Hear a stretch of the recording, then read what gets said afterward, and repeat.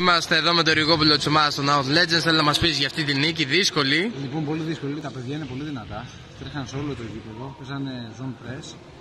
Εμείς διαχειριστήκαμε καλά το χρόνο με τα foul, παίξαμε σωστά. Του έχουμε καλή συνέχεια γιατί ήταν πραγματικά καλή ομάδα και καλά παιδιά φαίνονται. Ε, θα δούμε στο επόμενο match.